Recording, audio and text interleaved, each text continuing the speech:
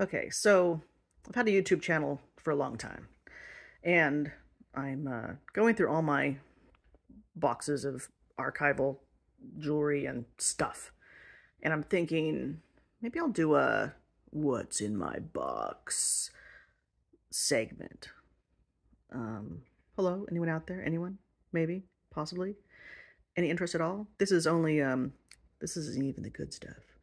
Um, the good stuff's in here. There's some good stuff in there maybe. Oh, there's also some little, there's also some little good stuff right there. Anyway, um, what do you think?